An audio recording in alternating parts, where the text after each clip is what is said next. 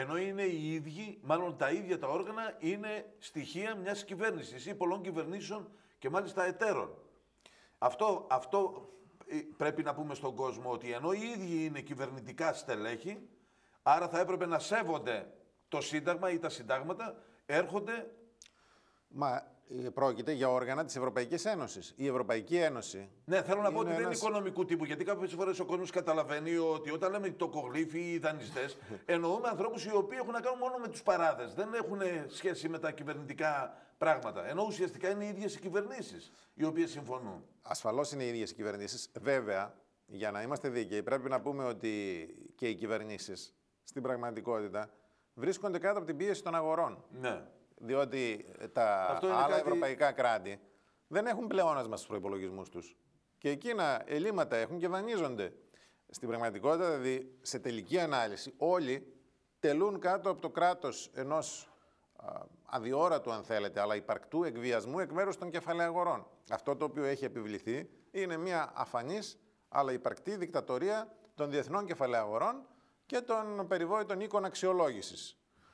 Ε, που με τις διρεκτίβες τους μπορούν να ε, υποχρεώνουν τις εθνικές κυβερνήσεις σε αλλαγή των πολιτικών τους πολύ αποτελεσματικότερα από ό,τι μπορούν να τις υποχρεώσουν οι ψηφοφόροι διότι ξέρετε οι ψηφοφόροι αποφαίνονται κάθε τρία ή τέσσερα χρόνια και συχνά αποφαίνονται με έναν τρόπο που είναι λίγο, ε, πώς να το πούμε, αδιόρατο το μήνυμα. Δεν είναι πάντα ξεκάθαρο το μήνυμα της, ε, μιας εκλογικής διαδικασίας. Και μην ξεχνάμε ότι χρησιμοποιείται, θα έλεγα, υπέρ των δέων χρησιμοποιείται και η πολιτική απάτη, το ψεύδος. Όταν έχουμε 12 υποσχέσει υποσχέσεις και δεν τηρείται ούτε μία, αυτό θέλω να το θέσω σαν ερώτημα τώρα, ενώ, επειδή το φέραμε ενώ, αντιθέτως, ενώ αντιθέτως οι οίκοι αξιολόγησης μπορούν να αποφανθούν όποτε θέλουν οι ίδιοι Ακριβώς. και αποφαίνονται με τρόπο αδυσόπιτα ξεκάθαρος. Σου λέει, σε βαθμολογώ και σε υποβιβάζω. Άρα λοιπόν μπορούν να κάνουν πράγματα τα οποία δεν μπορούν να τα κάνουν οι Κυριολεκτικά να ανεβοκατεβάσουν Άρα... κυβερνήσει, όπως το λέει απλά ο κόσμος και έχει συμβεί αυτό από... και στη δική μας περίπτωση. Άρα λοιπόν υπάρχει μια, θα λέγαμε, αδιόρατη δικτατορία των διεθνών κεφαλαίων και, του,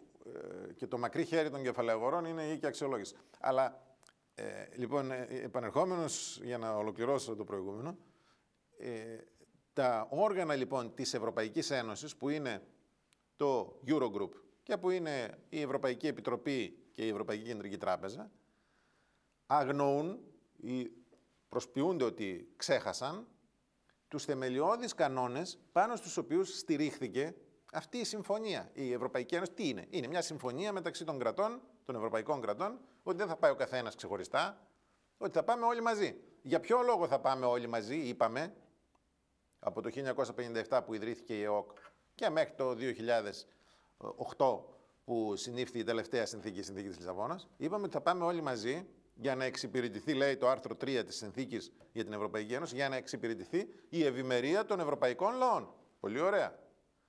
Πώς θα εξυπηρετηθεί η ευημερία των ευρωπαϊκών λαών, σε τι συνίσταται η ευημερία των ευρωπαϊκών λαών, πρωτίστως συνίσταται στο σεβασμό των θεμελιωδών δικαιωμάτων, έτσι δεν είναι; Δεν συνίσταται στο να παίρνουν οι τράπεζες πίσω τα λεφτά τους και τα πανωτόκια τους.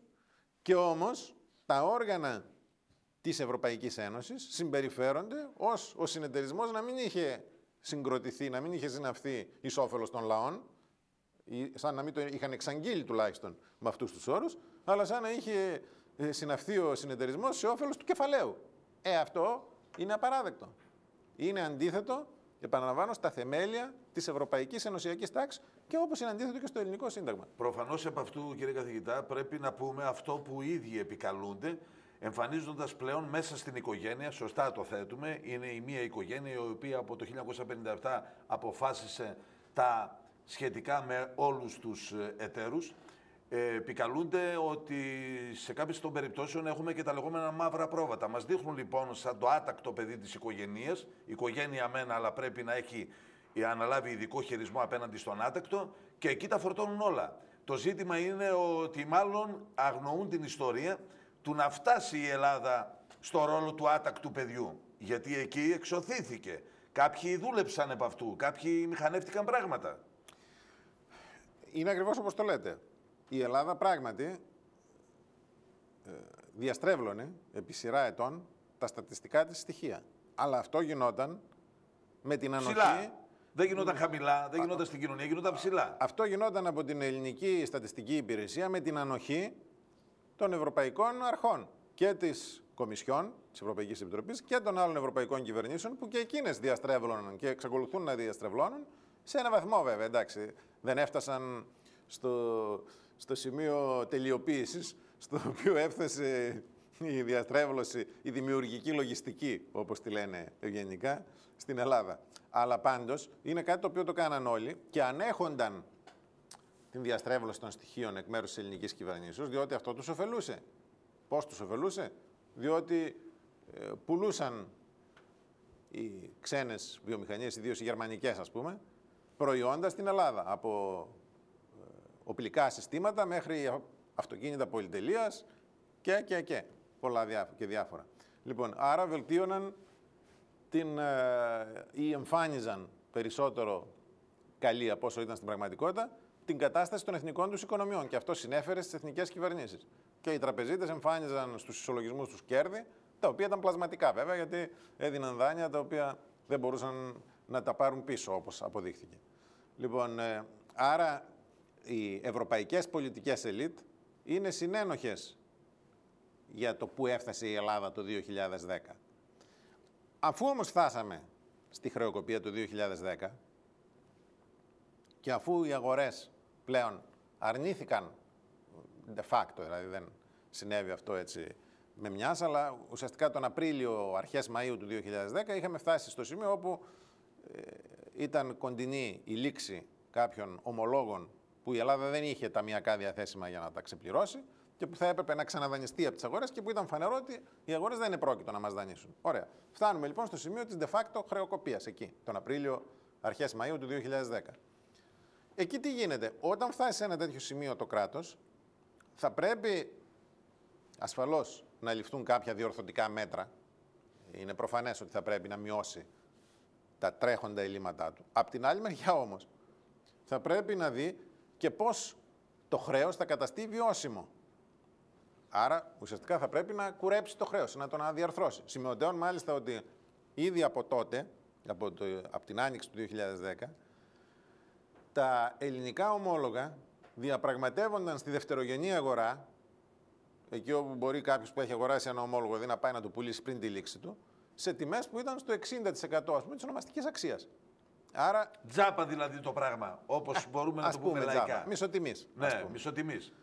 Και αυτό δεν ήταν τυχαίο βέβαια, γιατί ετοίμαζε αυτό που θα ακολουθούσε. Και εκεί τι πάει και κάνει η κυβέρνηση Παπανδρέου τότε, αντί να πει το, ε, το αυτονόητο, που θα ήταν ότι εμείς να πάρουμε κάποια διορθωτικά μέτρα για να περιορίσουμε το έλλειμμα, αλλά πρέπει να αναδιαρθρωθεί το χρέος ούτως ώστε να καταστεί βιώσιμο, άρα να κουρευτεί. Τι είπε, είπε ότι εγώ θα αρχίσω να δανείζομαι από κράτη για να ξεπληρώνω τους ιδιώτες στην ονομαστική τιμή των ομολόγων. Ποιους ιδιώτες, και όταν λέμε ιδιώτες δεν εννοούμε τα φυσικά πρόσωπα που είχαν ελάχιστο ποσοστό του, των ομολόγων, εννοούμε τις τράπεζες και τα αρπακτικά θεσμικά, τους αρπακτικούς θεσμικούς επενδυτές, τα funds, δηλαδή, τα hedge funds.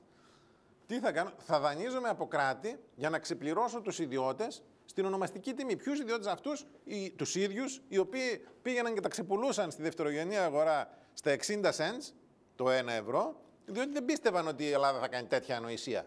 Έτσι.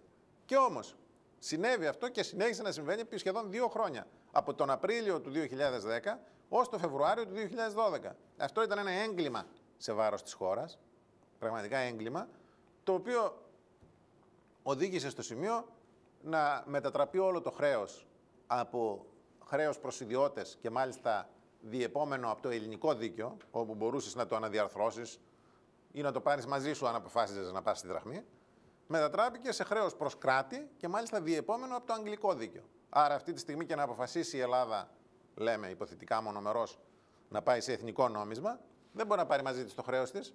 Το χρέος θα μείνει σε ευρώ. Άρα τι κερδίσαμε, κάναμε μια τρύπα στο νερό τώρα. Μάλιστα. Λοιπόν, θέλω να πάρουμε μερικές ανάσει, θα τις χρειαστούμε. Θα πάμε για τις απαραίτητες διαφημίσεις και επιστρέφοντας θα συνεχίσουμε. Έχουμε να πούμε πολλά όσα προλάβουμε σήμερα, γιατί θα φροντίσουμε να έχουμε και την συνέχεια που ήδη προμηνήσαμε. Την συγκέντρωσή μας δηλαδή την Κυριακή στις 7 η ώρα το βράδυ στο πνευματικό κέντρο της Κατερίνης, στην επάνω αίθουσα. Εκεί είναι φυσικό ότι θα έχουμε περισσότερη ελευθερία, επειδή ακριβώς θα εμπλακεί και το κοινό που θα παραβρεθεί. Πάμε λοιπόν για τις διαφημίσεις και επιστρέφουμε.